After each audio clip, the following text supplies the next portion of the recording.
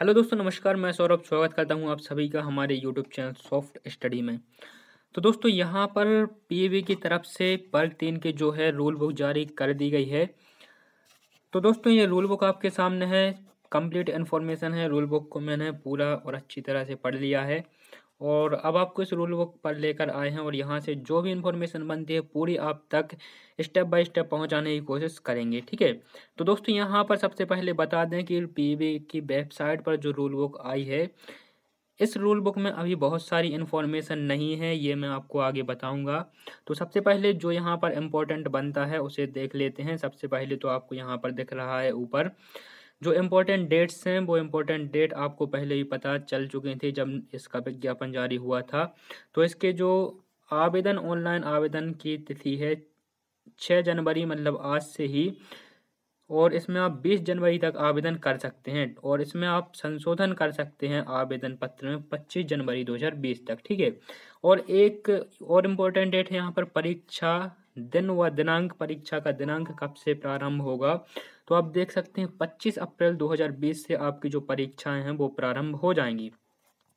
और इसके अलावा दोस्तों, यहाँ पर देखते हैं, जो परीक्षा फ़ीस है आपको पे करनी होगी, वो अनारक्षित अभ्यर्थियों के लिए मतलब जनरल जनरल कैंडिडेट के लिए यहाँ पर टोटल छः सौ रुपये पे करनी होगी, ठीक है? यहाँ पर दोस्तों, पीईबी और स्कूल शिक्षा विभाग, दोनों फ़ीस आपसे आपसे यहाँ पर दोनों के द्वारा आपसे फ़ीस ली जाएगी, ठीक है? पीबी के द्वारा और स्कूल शिक्षा विभाग के द्वारा इस प्रकार छः सौ रुपये आपसे फ़ीस ली जाएगी। और साथ ही साथ दोस्तों, आपको पोर्टल शुल्क भी पे करना होगा, ठीक है? तो आप देख सकते हैं ऑनलाइन आवेदन क्योस के माध्यम से ऑनलाइन आवेदन भरने वाले अभ्यर्थी हेतु एम पी ऑनलाइन का पोर्टल शुल्क साठ रुपये दे होगा। इसके अतिरिक्त रजिस्टर्ड सिटीजन यूजन के माध्यम से लॉगिन कर फॉर्म भरने वाले पोर्टल शुल्क बीस रुपये दे होगा। तो आपको साठ रुपये एक्स्ट्रा पे करने होंगे, इस प्रकार छः सौ साठ रुपये पे करने होंगे, ठीक है? और अनारक्षित वर्ग के जो कैंडिडेट हैं, उनके लिए टोटल यहाँ पर तीन सौ साठ रुपये पे करने होंगे। अब यहाँ पर दोस्तों बात आती है ई डब्ल्यू एस कैटेगरी की, ठीक है? तो ई डब्ल्यू एस कैटेगरी के लिए अभी यहाँ पर जानकारी नहीं है कि वो अनारक्षित में रखे गए हैं या फिर आरक्षित वर्ग में रखे गए हैं। इसलिए यहाँ इसे अभी हम इसे अधूरा मान के चल सकते हैं। और साथ ही साथ दोस्तों अभी इस जो रूल बुक है। इसमें वैकेंसी की जानकारी भी नहीं है कि पीवी ने कितनी वैकेंसी शिक्षा विभाग ने कितनी वैकेंसी यहाँ पर निकाली हैं। तो अभी वैकेंसी की भी जानकारी यहाँ पर नहीं दी गई है। इसके बाद में देख सकते हैं यहाँ पर अप्रैल 2020 से आपके एग्ज़ाम आरंभ हो जाएँगे और दो पाली में आपके आरंभ होंगे। पह, पहला है साढ़े आठ से नौ बजे मतलब ये नौ से साढ़े ग्यारह तक आपका एग्ज़ाम होगा ठीक है? और इसमें रिपोर्टिंग टाइम होगा आपका सात से आठ बजे तक और महत्वपूर्ण निर्देश पढ़ने का समय होगा सा, आठ पचास से नौ बजे तक, ठीक है? इसलिए ये दो पालियों में एग्ज़ाम कंडक्ट कराया जाएगा। एक दिन में दो पाली होंगी, ठीक है? और यहाँ पर जो दूसरा एग्ज़ाम होगा, वो आपका दो बजे से साढ़े चार बजे तक टोटल डेढ़ घंटे का रहेगा और दोपहर दस से एक, दोपहर बारह बजे से एक बजे तक, ठीक है? इसमें आपका रिपोर्टिंग टाइम रहेगा और महत्वपूर्ण निर्देश पढ़ने का समय एक पचास से दो बजे तक आपका रहेगा। इसके अलावा दोस्तों, नीचे चलते हैं तो यहाँ पर आपको बता दें कि एज क्राइट एरिया भी अभी इस पीडीएफ में नहीं दिया गया है, ठीक है? एज क्राइट एरिया भी यहाँ पर नहीं है। यहाँ पर दोस्तों, जो आपकी मिनिमम मिनिमम मार्क्स की रिक्वायरमेंट होगी, वो पचास परसेंट अनारक्षित वर्ग के लिए ठीक है, यहाँ पर दोस्तों पचास परसेंट होगी आरक्षित वर्ग के लिए, अनुसूचित जाति, अनुसूचित जनजाति, अन्य पिछड़ा वर्ग और दिव्यांग व्यक्तियों के लिए, ठीक है? तो ये आरक्षित वर्ग है और साठ परसेंट होगी अनारक्षित वर्ग के लिए, ठीक है?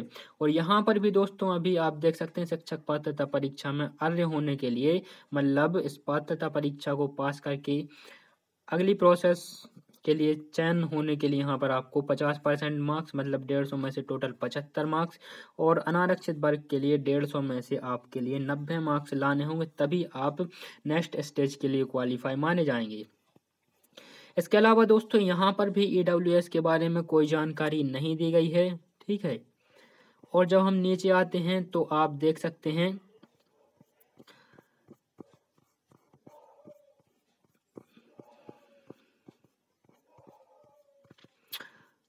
चलते हैं नीचे इम्पोर्टेंट जानकारी को यहाँ पर देख लेते हैं एक बार।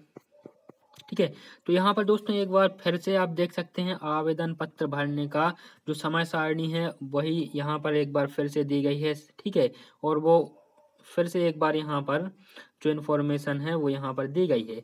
जिसे आप देख सकते हैं भरने का कुल समय पंद्रह दिन का और, ठीक है, यहाँ पर बीस दिन का जो है आपका संशोधन सहित को यदि मिला दिया जाए तो बीस दिन का आपके पास समय है। और यहाँ पर फिर से दोस्तों आप देख सकते हैं, डेट दी गई है इसके बाद में जो इम्पोर्टेंट भाग है इस रूल बुक का, वो है आपके ऑनलाइन परीक्षा के केंद्र। कहाँ कहाँ ऑनलाइन परीक्षा का केंद्र होगा? तो भोपाल, इंदौर, जबलपुर, ग्वालियर, उज्जैन, नीमच, रतलाम, मंदसौर, सागर, सतना, खंडवा, गुना, दमोह सीधी छिंदवाड़ा और बालाघाट ठीक है टोटल सोलह जिलों में परीक्षा का केंद्र बनाया जाएगा। इसके अलावा दोस्तों, नीचे चलते हैं तो आप देख सकते हैं ये सिलेबस दिया गया है और दोस्तों, कंप्लीट वही सिलेबस यहाँ पर दिया गया है जो मैंने एक सिलेबस की वीडियो बनाई थी, ठीक है? कंप्लीट सिलेबस की, उसमें आपको सेम सिलेबस मैंने बताया था, ठीक है? और सेम सिलेबस यहाँ पर दिया गया है। किसी भी प्रकार से चेंजेस नहीं किए गए हैं, ना तो यहाँ, ना तो यहाँ यहाँ पर कहीं आप देख सकते हैं सब्जेक्ट भी सेम है यहाँ पर और मार्क्स और प्रश्नों की संख्या सेम है और साथ ही साथ दोस्तों, जब आप यहाँ पर नीचे देखते हैं तो जो इसके चैप्टर हैं, वो भी क्रम वाइज बिल्कुल सेम ही लिखे हुए हैं, अर्थात सिलेबस में किसी भी प्रकार से चेंजेस नहीं देखने को मिला है। स्मृति ठीक है तो यहाँ पर दोस्तों इतनी ही इन्फॉर्मेशन इस रूल बुक से अभी निकल के सामने आ रही है। जो इन्फॉर्मेशन नहीं है, जैसे कि अभी जो है, एज क्राइटेरिया एज क्राइटेरिया के अलावा यहाँ पर वैकेंसी की डिटेल और ईडब्ल्यूएस के जो कैंडिडेट हैं, उनके लिए आरक्षण का यहाँ पर रूल। ठीक है, इतनी इन्फॉर्मेशन पीडीएफ में नहीं है तो हो सकता है कुछ देर बाद ये दूसरी रूल बुक जारी हो या कुछ दिनों बाद या फिर दूसरी रूल बुक जारी होगी जिसमें वैकेंसी, ठीक है, और आरक्षण के संबंध में और एज क्राइटेरिया के संबंध में उसमें ज़रूर से इन्फॉर्मेशन दी जाएगी। तो दोस्तों, इस वीडियो में इतना ही। ठीक है बिग अपडेट है आप सभी के लिए। वीडियो को लाइक ज़रूर कर दें। साथ ही साथ चैनल को यदि आपने अभी तक सब्सक्राइब नहीं किया है तो चैनल को सब्सक्राइब करें और इसे शेयर ज़रूर करें अपने दोस्तों तक। अब आपसे मुलाकात होगी इसकी नेक्स्ट वीडियो में। तब तक के लिए नमस्कार। जय हिंद।